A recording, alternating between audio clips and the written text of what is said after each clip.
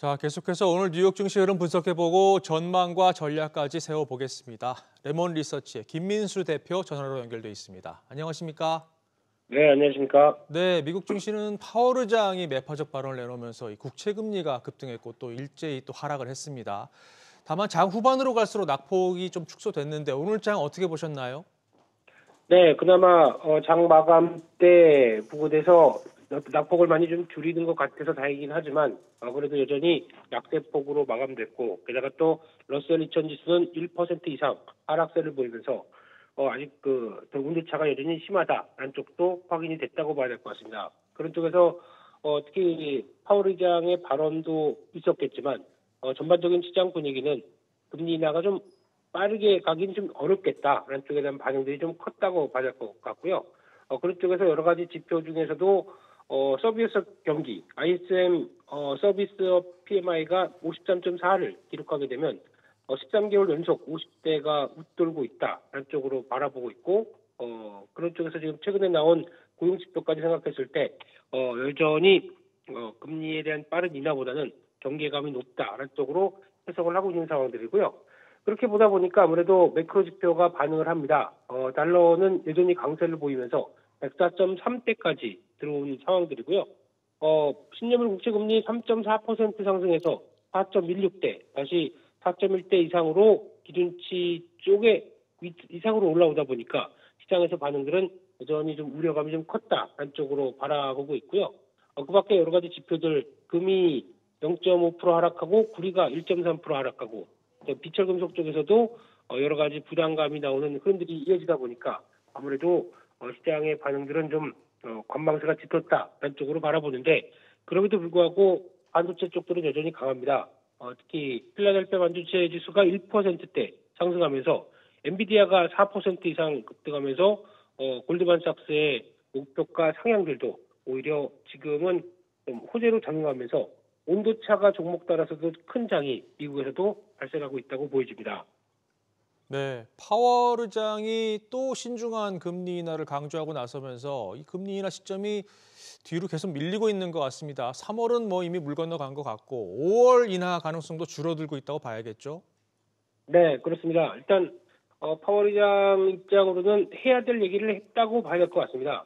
특히 미국 경제 강하다. 그리고 금리 인하 시점에 대해서 신중할 것이다라고 얘기를 하고 있는데 어, 최근에 발표되고 있는 어, 고용 지표나 그리고 나머지 또 어, 여러 가지 지표들을 봤을 때는 미국 경제의 강한 모습들의 면모가 그대로 보여진다고 봐야 될 것 같고요. 그런 쪽에서 어, 인플레 2%로 도달하는 부분들은 아마 확신이 필요하다라는 쪽으로 보게 되면 어, 적어도 지금 앞에 숫자는 2자로 어, 물가 지표 쪽에서 바뀌었다고 하더라도 이 부분이 꾸준히 유지하면서 그리고 또 하락하는 부분까지 나오기는 좀 더 확인이 필요하다는 관점 쪽으로 해석하는 것 같고요. 그리고 또 하나 우려했던 부동산 부실 가능성, 특히 어, 상업용 부동산 쪽이죠. 그쪽과 관련된 가능성은 일단 일축하면서 금융위기 없다라는 쪽에 대한 언급은 그나마 어, 어떤 그 긍정적인 모습들로 나온다고 하더라도 특히 이 부분을 반대로 해석하게 되면 어, 어떤 변화가 나오게 되면 연준이 움직이겠다라는 쪽도 해석을 할 수 있다고 보여지고 있는 가운데 아무래도 지금 어, 여러 가지 파월 입장, 파월 연준 의장 입장으로 봤었을 때는 어, 지금 당장의 어떤 액션보다는 그래도 시장이 좀 앞서가는 측면 쪽에서 나오는 어, 3월 금리 인하는 어, 아니다라는 쪽에 무게를 좀 실어야 될 것 같고요. 적어도 5월, 6월 달까지 가야 첫 금리 인하가 나오지 않을까라는 쪽으로 시장도 그렇고 많이 기대감이 바뀌는 시점이다 이렇게 보여지고 있습니다. 네. 자, 근데 국내 증시는 이 악재가 좀 더 크게 증폭돼서 반영이 되는 것 같습니다. 어제 코스피 기관 매도세 하루 만에 2,600선을 내줬는데 저 PBR 랠리도 숨고르게 들어간 모습이에요. 이럴 때 전략 어떻게 짜야 할까요? 네, 가장 국내 증시와 함께 바라봐야 될 지표를 하나 꼽는다고 하게 되면 말씀드렸던 뭐 달러와 10년물 국채 금리라고 볼 수 있을 것 같습니다.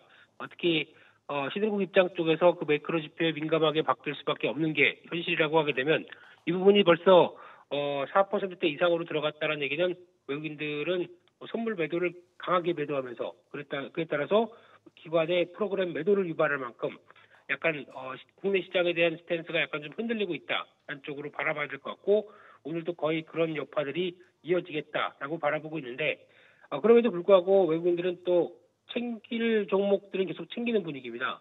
특히 어, 뭐 저피비아를 떠나서 약간 어, 그래도 사볼 만한 종목이다라고 판단되는 뭐 지주사의 삼성물산이나 아니면 현대차 그룹들 이런 쪽들은 어, 단순하게 싸다라는 논란보다 그리고 싸- 싸다라는 얘기보다는 그리고 또 어, 성장과 그리고 또 기업 가치에 대한 변화를 이끌어낼 만한 종목들은 오히려 관심이 많다는데 시장이 관심이 높아지고 있는 상황들이고요. 아무래도 지금 시장 분위기는 어, 어떤 섹터가 어떤 쪽이 강하다라는 것보다 전반적인 시장 분위기가 좀 묵직한 가운데 어, 설 연휴를 앞두고 있기 때문에 그런 부분 쪽에서 그래도 리스크를 관리하자. 워낙 변동성이 큰 시장의 흐름이기 때문에 약간 어, 리스크를 관리하자는 입장 쪽에 대한 변화가 좀 더 우세하다 이렇게 볼 수 있을 것 같습니다. 네, 그렇군요. 자, 지금까지 김민수 레몬 리서치 대표였습니다. 오늘 말씀 고맙습니다.